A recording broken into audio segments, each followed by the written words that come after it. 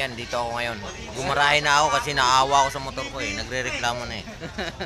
Sawa sa kalalagarit. Eh, hirap ng biyahe namin dito sa Tudang Pula. Ayan, eh, aro. Kaibigan ko yan. Ayan, kababayan ko yan. Tiga Brian, oh. Oh. Ah, mamaya, magbilang na mamaya ang kikitain kung magkano. Kasi ito pa lang yung kinita ko. Ito, binibilang Ah, ko. Kunti pa lang, oh. Yan. Yan, binibilang ko. Puro barya. Ah, Puro barya.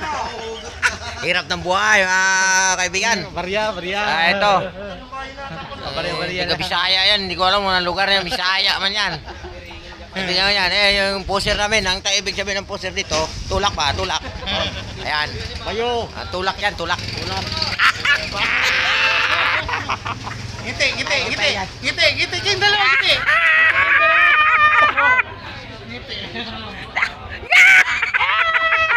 Huwag mo takpan. Ang gagwapo namin ba? Yan, sabi ko ito. Ayun, oh. Kita mo, dami tricycle. Oh. Mamaya, bilangan mamaya pag ano.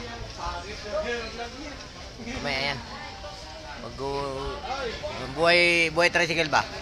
Eh, malaman yung buhay tricycle. Eh, Yan si Santin.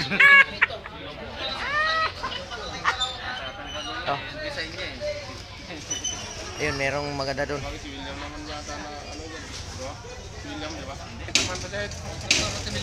Akala ko ano hinahabol mo.